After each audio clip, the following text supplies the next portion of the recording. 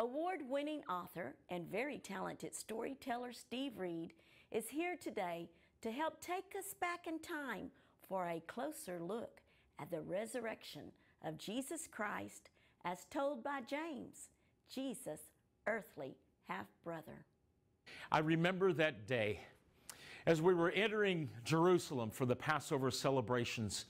I remember the crowd was huge. They were so excited to see Jesus, some of them for the very first time. And as we went on through the week, the crowds just continued to swell. And then I remember Jesus calling all of his disciples, his close followers, to that upper room and watching Jesus as he humbly bowed down and washed the feet of his disciples. And a little while later, he mentioned that somebody would deny him.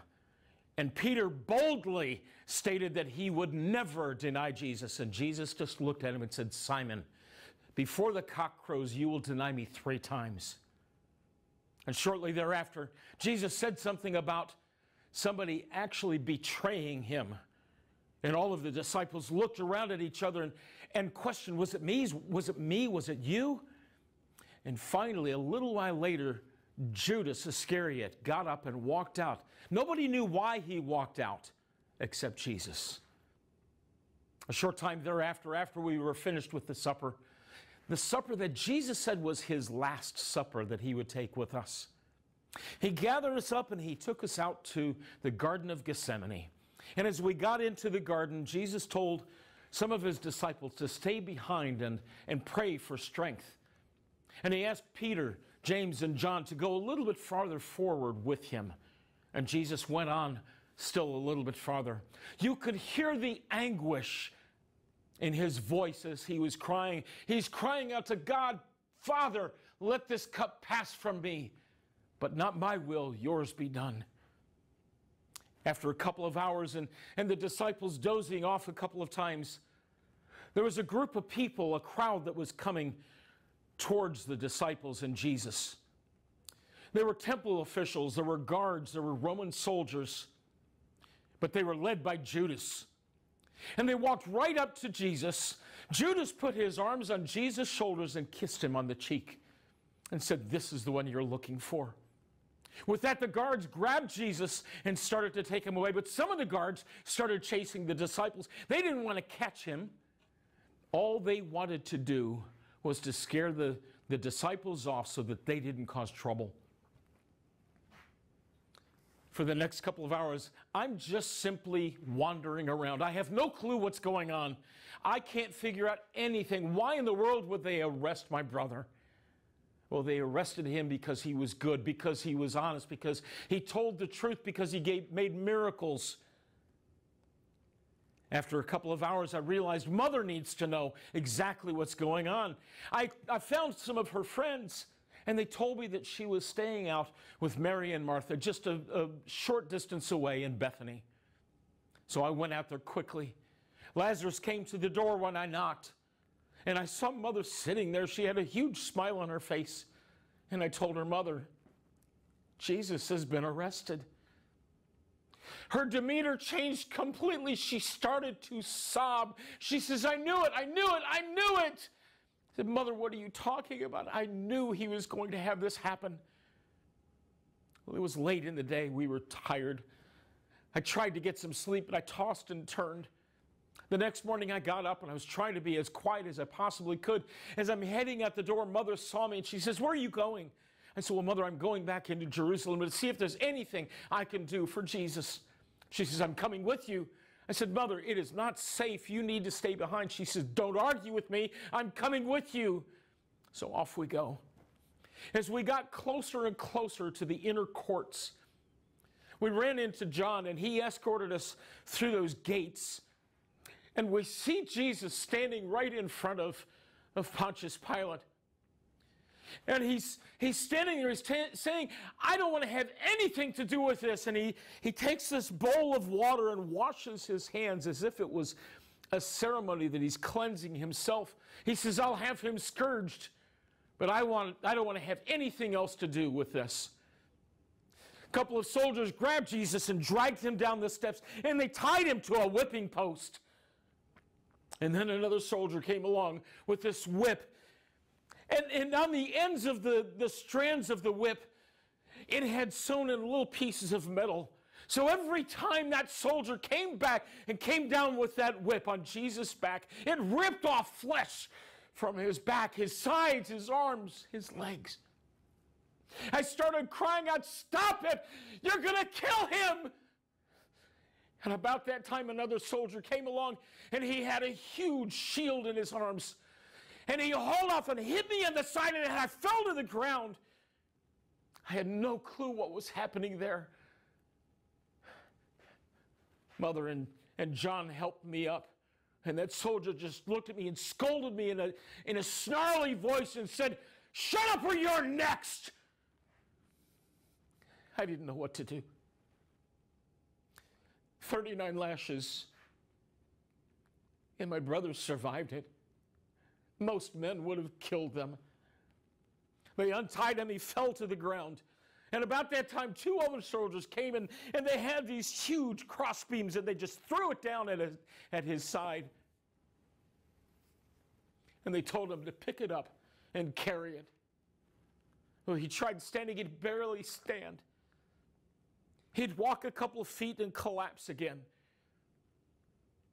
And this went on for a short amount of time. And, and one of the soldiers saw this man in the crowd. He was just a traveler. His name was Simon. And they grabbed him and they told him to pick up that crossbeam.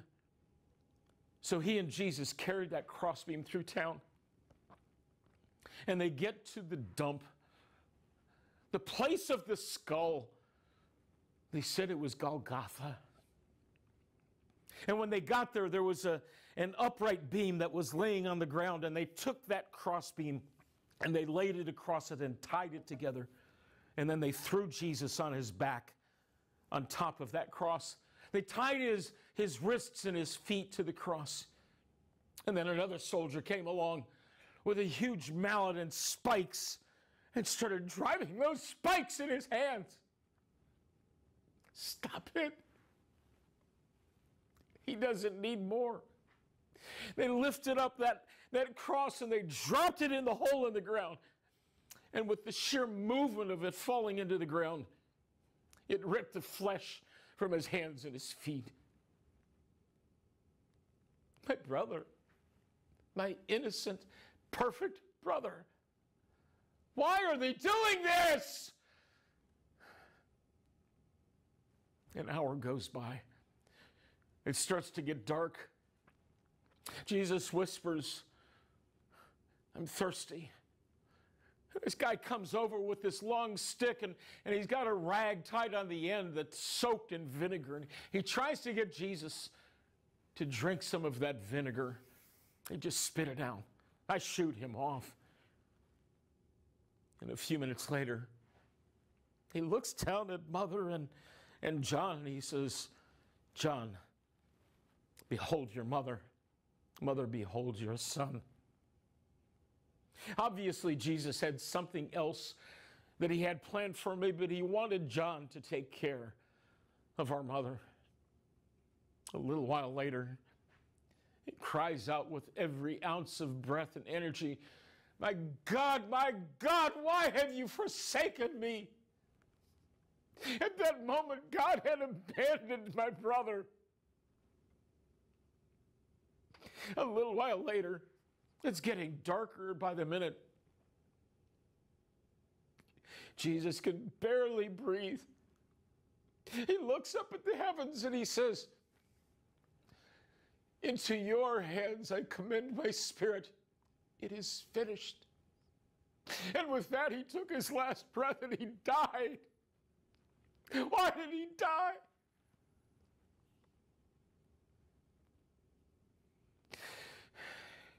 Shortly thereafter, another soldier came along and he drew his sword and he thrust it in Jesus' side, and the blood and the water came down. I was incensed. I was furious. I saw some, some Pharisees and Sadducees, some of the temple officials over here, and they're laughing and mocking at my brother and I'm going to kill somebody. I take off running as fast as I can. John, thankfully, is faster than I am. He managed to grab my, my shirt just before I got to them. And he pulled me to him. And he says, Let's go, James. There's nothing else we can do here. As we're leaving, Joseph, dear friend Joseph of Arimathea, he came to us and he says, I've gotten permission to take Jesus' body and bury him in my family tomb. Is that okay with you? We quickly agreed. So we took Jesus down from the cross. We wrapped him in those burial cloths. We laid him on that tomb. I just stood there crying out, God, why? As we start walking away, Mother says, Please take me back, back to Bethany. So off we go. We get to Mary and Martha's home and we knock on the door. Mary is standing there. Mother can barely walk in three steps and she collapses on the floor. Mary looks at me and says, What's happened to you? I was covered in blood. My, my robes, my garments were torn, were cut. I guess I got closer to those, those Roman guards and the temple officials closer than what I thought. She gets me cleaned up, and I'm sitting there. We're, we're just sitting there looking at each other. What just happened? We had no clue. We didn't know what to say. We felt lost and abandoned. Well, we tried to get some sleep overnight. I tossed and turned all night. I slept for maybe five minutes. The next morning, I got up along with everybody else, and we're still just sitting there. We're in shock. What has happened? Later in the day, I decided I couldn't stay there anymore. I had to go walking. So I took a, a path outside of town, the opposite direction from Jerusalem. And I'm just asking God, why? Why did all of this happen? You could have saved him. Why did all of this happen? I started pondering and reflecting on all of the things that, that Jesus and I used to do as we were young boys and in our teen years. I remember working in the fields, and Jesus would go off for two or three days at a time, and he'd, he'd come back and he'd share things that the Father had, had taught him while he was away and alone. And I remember this one time Jesus came back and he was sharing things from, from the prophet Isaiah. And Isaiah said, Oh, we like sheep have gone astray. Like a lamb before the slaughter, he stood there silently. By his stripes, you were healed.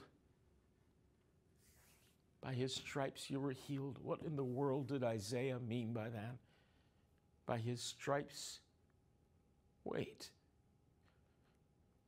When they scourged him, they left stripes on his back. He stood before Pilate. He didn't say a word like a lamb before the slaughter.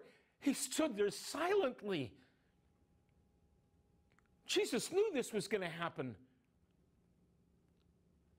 Isaiah was prophesying exactly what ha- would to Jesus. Jesus wasn't just quoting Isaiah, he knew all of this would happen. He told us, destroy this temple, and in three days, he's coming back. He knew that he was the perfect lamb. He knew that he lived a sinless life so that I could be forgiven, so we could all be forgiven. I've got to go tell the others. I ran back to Lazarus' home as quickly as I possibly could.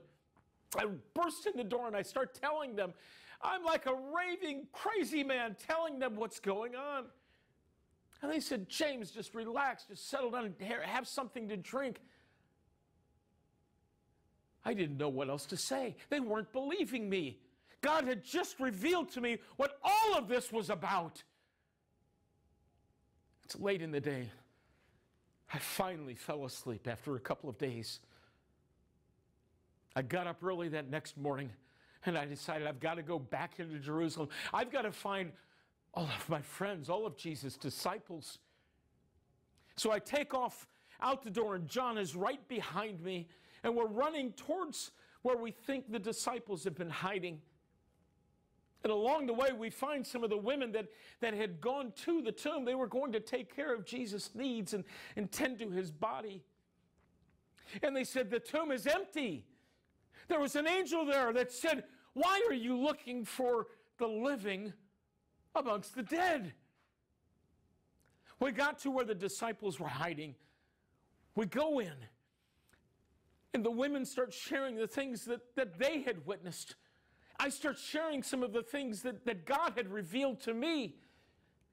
And all of a sudden, Peter and John take off running to go to that tomb. John gets there first. He's looking inside, and Peter runs right past him inside the tomb. He picks up those burial cloths that, that are soaked in blood, in Jesus' blood. They dropped those burial cloths, they turned and they ran back to the disciples. And when they walked in the room, they described exactly what they had seen. Mary needed more. She wasn't sure what they had done with Jesus' body. So Mary takes off and she heads back to the garden. And when she got there, she saw, she saw a gardener standing there and she looks at him and she says, If you know where my master is, would you please tell me I'd like to tend to his body? And she's kneeling down by this gardener. And all of a sudden, a gardener says, Mary. She looks up at him. Jesus, Master, you're alive! You're alive! Jesus! And she gives him a huge hug. He says, Go, tell your friends that I'm alive, that I am risen. She takes off running back to where the disciples are hiding. She walks in and she tells them exactly what she has just seen. I just saw the Master. He's alive. Jesus is alive. I saw him. I held him. Jesus is alive.